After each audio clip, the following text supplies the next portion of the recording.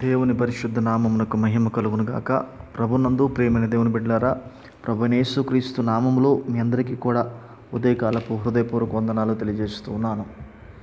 ఈరోజు దేవుని వాగ్దానము కీర్తన గ్రంథము ఎనభై తొమ్మిదవ అధ్యాయము ఇరవై ఎనిమిదవ వాక్యం. నా కృప నిత్యము అతనికి తోడుగా ఉండజేసేదను నా నిబంధన అతనితో స్థిరముగా నుండును. ప్రియమైన దేవుని బిడలారా ప్రభు ఈ దినము నీకు ఇస్తున్న వాగ్దానము తన కృపను నిత్యము నీకు తోడుగా ఉంచే దేవుడిగా ఉండబోతున్నాడు.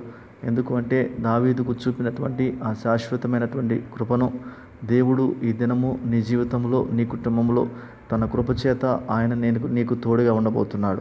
అంత మాత్రమే కాకుండా దేవుడు నీతో ఏదైతే నిబంధన చేసి వాగ్దానం చేసి ఉన్నాడో ఆ నిబంధనను దేవుడు స్థిరపరచబోతున్నాడు. దావీదు జీవితంలో నిబంధనను స్థిరపరిచిన దేవుడు ఈ దినము నీ జీవితంలో ఆయన నిబంధనను స్థిరపరచబోతున్నాడు. ఈ మాటలు వింటున్నటువంటి నీ కుటుంబంలో నీ జీవితంలో ఎలాంటి పరిస్థితిలో నీవు ఉన్నావో దేవుని కృప ఈరోజు నీకు తోడుగా ఉండబోతుంది.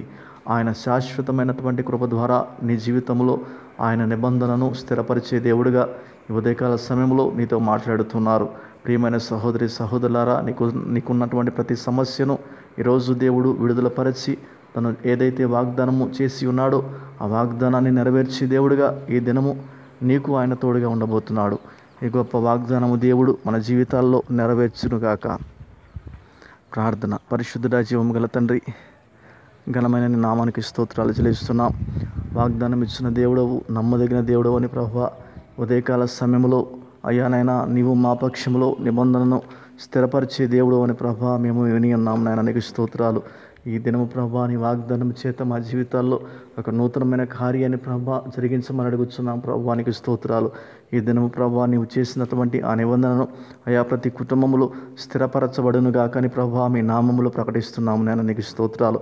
ఈ దినం బిడలు చేస్తున్న పనుల్లో వ్యాపారాల్లో ఉద్యోగాల్లో మీ సన్నిధి తోడుగా ఉంచండి.